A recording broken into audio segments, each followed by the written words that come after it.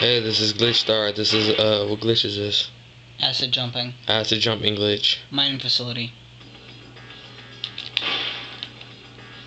So, And right about there. Try to wait quick fire. there's the mine jumping glitch. There you have it, people.